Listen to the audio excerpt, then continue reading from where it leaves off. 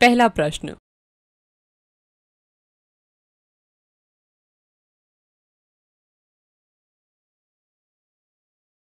चलिए, अब इसका उत्तर देखें।